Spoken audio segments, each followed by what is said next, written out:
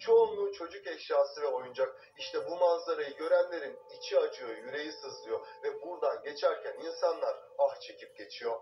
Her şey ama her şey fotoğraflarda kaldı. Her tarafını toz kaplamış, kırılmış eski bir kutu içinde sahipsiz kalan bu fotoğraflar.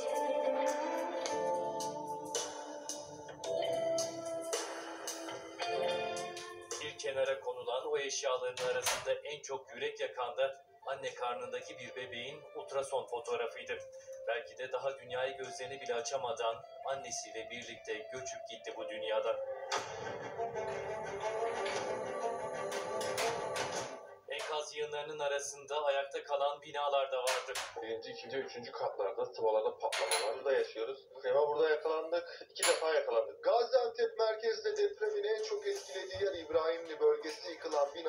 Caddenin aşağısında. Ayşe Polat sitesine de 100-150 metre uzaklıktayız.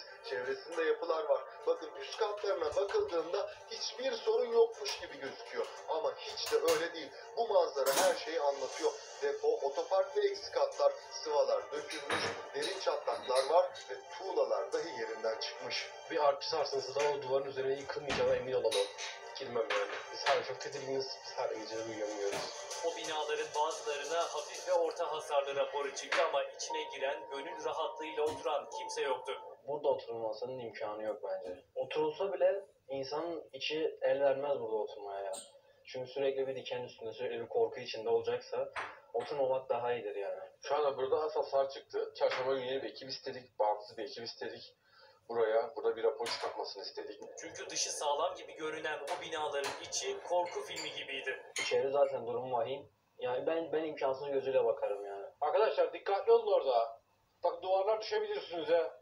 Çünkü bölgede artçı sarsıntılarında ardı arkası kesilmiyor. Burada oturulması bence insan sağlığı için yani çok riskli. Ama buna rağmen özellikle de İslahiye bölgesinde evlerine girip eşyalarını almaya çalışanlar da var. Önemli eşyalarımızı almak zorundaydık. Garajımıza falan bir girip çıktık. Hasar bayağı var. Getirdikleri vinçlerle ağır hasarlı evlerini tahliye etmeye çalışanlar adeta ölümü göz aldı.